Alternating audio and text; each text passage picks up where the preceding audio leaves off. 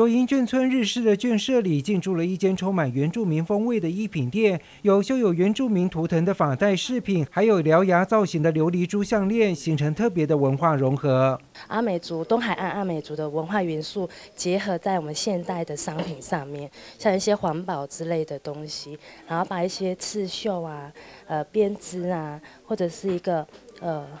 图腾的那个呃织带啊，把它结合在呃现代需求上面的那个法式饰品，还有一些呃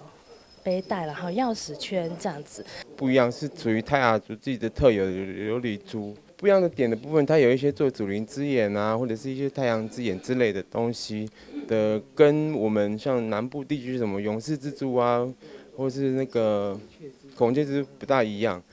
样式是比较特色、比较特别的。环顾左营眷村，目前还有许多眷舍空着闲置，等待修复。高雄市议员王义雄认为，可以作为发展原住民产业的基地，因此鼓励有需要的原住民族人可以循着文化局以住代户的方案申请入住左营眷村。还有一些的闲置的还没有，呃，一些规划的。当然，我们是也是希望，就是说，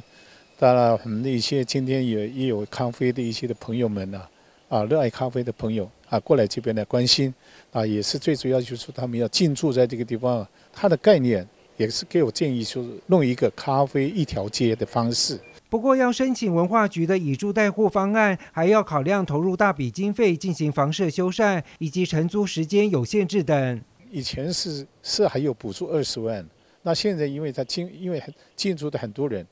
当然所以所以说他们的一些的经费不足，当然是还是要靠他们。去申请的啊，个人或是一些团体啊，过来这边呢，做什么？啊，就是要自己要修缮，然后把里面的一些的要怎么样去去经营，就说这个让它有个特色。另外，左营眷村的商业活动还有待活络。王义雄议员希望市府文化局可以再做加强。啊，文化局这边呢，跟交通局啊，去申请一些的这个那个交通车或是接驳车。这最主要就是要带动这些的那个，要不然的话，在在那边死气沉沉的，也不